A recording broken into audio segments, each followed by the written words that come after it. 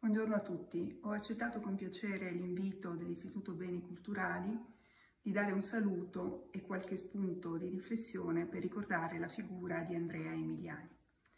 Come sapete avremmo dovuto celebrare un convegno nell'anniversario della sua scomparsa che per le note ragioni di emergenza sanitaria è stato rinviato all'autunno.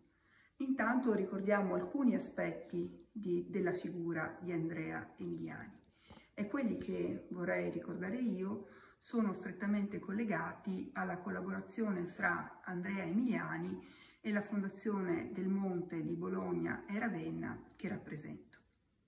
La collaborazione di Andrea Emiliani con la Fondazione del Monte e prima ancora con la Banca del Monte di Bologna e di Ravenna è di antichissima data.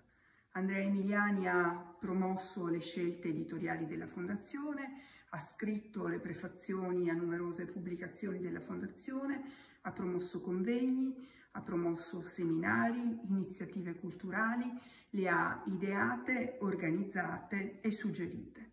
È stato anche consulente della Fondazione del Monte con riferimento a numerose opere d'arte. La Fondazione ha pubblicato numerosi saggi di Andrea Emiliani e ricordo fra i più recenti la pubblicazione di Incontri con il pubblico, proposte di lettura per le mostre della Pinacoteca Nazionale 1983-1998. Forse non tutti sanno che Andrea Emiliani è stato anche consigliere di amministrazione della Fondazione del Monte e che ne è stato vicepresidente fino al 2003. È stato altresì consulente della fondazione fino alla metà degli anni 2000. Fra le collaborazioni più importanti ricordo quella che nel 2002 ha avviato la ricostruzione di un frammento di un'opera di Guido Reni, oggi custodita nella Pinacoteca Nazionale di eh, Bologna, dove è stata lasciata in deposito indeterminato dalla Fondazione del Monte.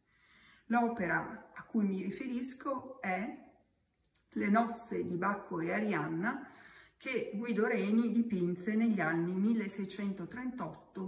1638-1640 su commissione del cardinale Barberini, destinato il quadro a Henrietta Maria di Borbone, moglie del re d'Inghilterra Carlo I. Quindi come vedete le connessioni, i nessi, i legami fra la Fondazione del Monte di Bologna e Ravenna e Andrea Emiliani sono molteplici e di natura diversa e rendono ancora più forte e ancora più caldo il ricordo che la Fondazione vuole esprimere.